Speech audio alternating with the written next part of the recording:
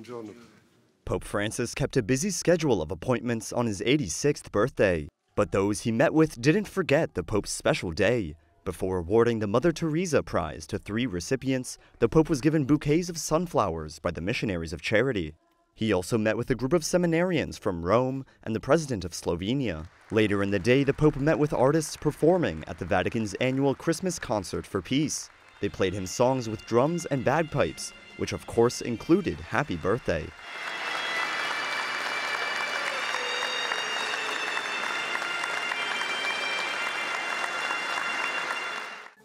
The following day, the Pope invited a group of children receiving aid from the Santa Marta Pediatric Dispensary to the Vatican with their families and volunteers.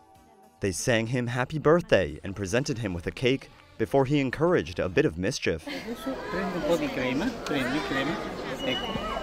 e prendi e alla bocca. È buono? Ah, ecco, vai, vai.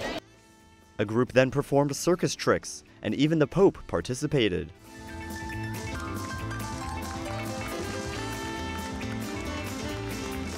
And that's how Pope Francis capped off his birthday celebrations.